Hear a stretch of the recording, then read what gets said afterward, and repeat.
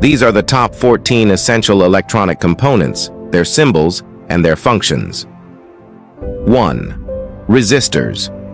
A resistor is one of the components you will come across in an integrated circuit. Like the name suggests, the device resists the flow of current. Resistors are graded based on their power ratings, the amount of power they can handle without exploding, and resistance values, the capacity to resist current. The measurement is done in units known as ohms. 2.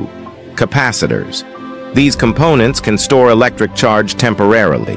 The components come in different varieties, with the most common ones being electrolytic and ceramic discs. The capacity of a component is usually measured in microfarads, F. 3. Diodes. Diodes allow electric current to flow in a single direction only. Each diode has two terminals known as the anode and cathode. When the anode